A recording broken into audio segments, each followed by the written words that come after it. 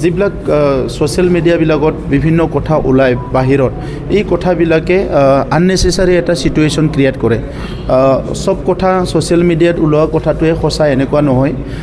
যিটো main stream মিডিয়াত ওলোৱা কথা বা টিভি বা কিবা সেইবিলাকৰ ওপৰত অলপ মানুহবিলাকৰ ৰিলায়েবল এটা ৰিলাই কৰে।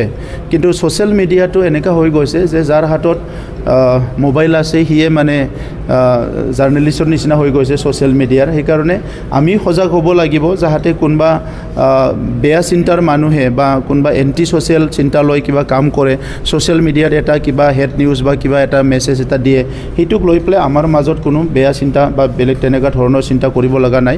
এই কথাবিলাকো অলপ আমি চৰ্চা কৰিম। আৰু লগতে ড্ৰাগছ শেহতীয়াভাৱে ড্ৰাগছ আমাৰ মুখ্যমন্ত্ৰী ডাঙৰীয়াই এবছৰ আগৰ পৰা ড্ৰাগছ জ্বলোৱা ড্ৰাগছ মানে পুলিচক খুব ড্ৰাগ ড্ৰাগছৰ যিটো কণ্ট্ৰল কৰাৰ কাৰণে খুব কঠিন এটা নিৰ্দেশ দি কাম কৰি আছে। তথাপিতো ৰুৰেল এৰিয়াবিলাকত ক'ৰ ক'ৰ পৰা আহি আছে বিভিন্ন চ'ৰ্চৰ পৰা অলপ চলপ ড্ৰাগছৰ কেছবিলাক হৈ আছে। চ' আজি বি টি আৰ অঞ্চলত আমি হত্যা হিংসা এইবিলাক জোৱা মদ ভাং সেইবিলাকৰ পৰা আমি জেনেৰেশ্যনটো আমি প্ৰটেক্ট কৰি ৰাখিব বিচাৰিছোঁ। সেইকাৰণে এই কথাবিলাকো আমি আলোচনা কৰিম